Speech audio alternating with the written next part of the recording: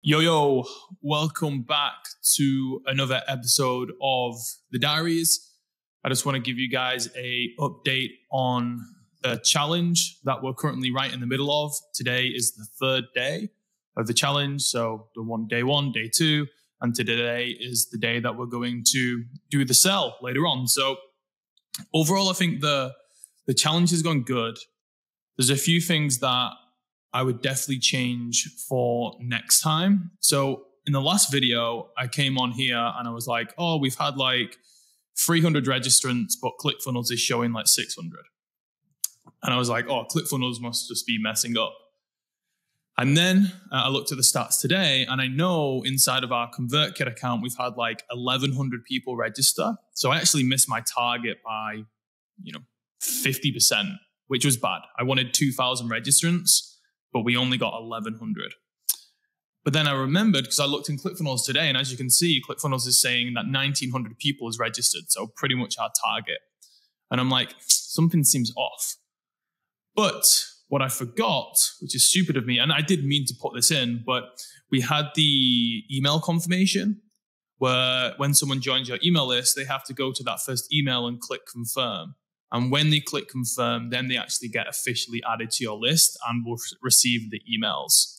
So what's happened is, is that 1900 people have registered on the landing page, which we hit our goal, but only 1100 of them have gone to the email and clicked confirm, which is interesting. I never realized the discrepancy was that bad. I thought maybe like 75% of people would probably click to confirm. Maybe we would lose like 25%, 20%, 15% of the leads. But at this point, it's like, what is it, like 50 to 40, 45% of people have not gone through to confirm the email. And therefore, those people aren't going to get the links to attend, which is crazy. So that was, even though it feels good to make sure that everyone confirms their subscription to your email list. If I'm missing out on like 45% of the leads, then I don't think that's a net positive, even if all of those emails get delivered, which is interesting. So, so I probably wouldn't do that next time. I would probably take, you know, 1900 people registering and not confirming their email. So that was definitely something I would improve you know, our email health is great in terms of we send out an email with our broadcast to about 22,000 people, about 40% plus open it every single time. But would I prefer an email list of, you know, 40,000 people, double that, and maybe not everyone open it? You know, it, I, I think oh, if, if it's literally that big of a discrepancy that, you know, like around 40% of people aren't confirming their subscription, then I don't think it's a net positive. I think it's a net negative. So if we were to do the challenge again, I would definitely take that off. But other than that, the show rate has been pretty good. Considering we only have 1,100 people actually register and get the emails, on the first day we had over 300 people live with us. So our show rate was like, you know, just, it was like 29 point something percent, I think it was. Um, so the show rate was really strong. And I know a ton of people are watching the replay because um, we've had emails about it and uh, people have been posting inside of the Facebook group and stuff talking about the replay. So that's been really good. The show rate was very, very strong. I mean, we have a pretty, I would say at this point, a pretty bulletproof process when it comes to like increasing show rate challenges and events. It's probably something we're, we're best at.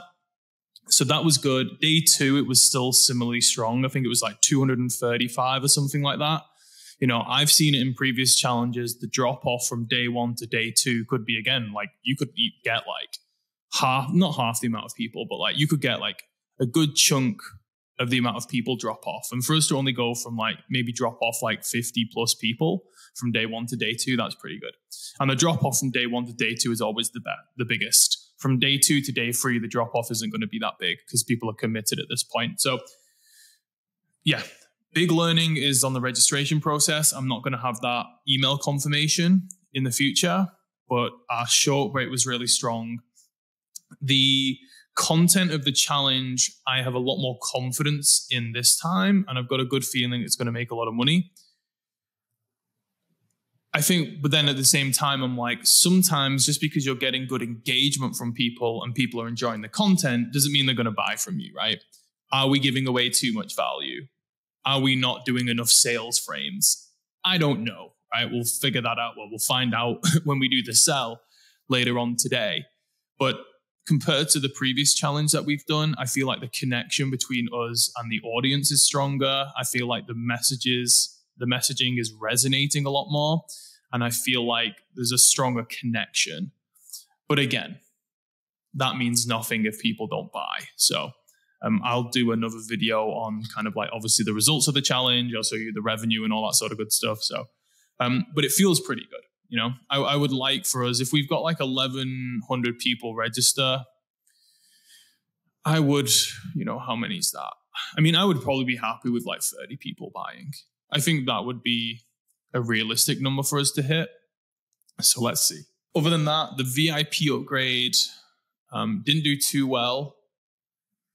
As you can see here, um, again, it would only convert it at like 2.85%, which is super low. So um, we didn't have a workbook this time. So for our clients at the agency, they will typically have like a workbook. And it's not a physical workbook that gets sent to them, but it's like a digital workbook. And maybe that is just has a lot more perceived value than uh, I thought. And maybe having that just more of a tangible asset to have will make people buy the VIP. Because right now, the VIP is basically lifetime access to the recordings and then also VIP sessions, which are much more valuable than the workbook. Like the VIP session is like a live Q&A with my business partner. And, you know, she, literally the Q&A sessions have lasted like one to two hours. So like it's very, very like it's very, very valuable. But you know, people's perception is what matters, not actually how valuable it is. And I think maybe when you're register for a free event, Q&A session versus like a tangible workbook, maybe in the mind of some people, the the workbook is more valuable. So that's something we will probably do for next time is create like a digital workbook. We'll add that to the VIP offer and see if it converts better because 2.85% is shit. Just being, I, I thought the page was good.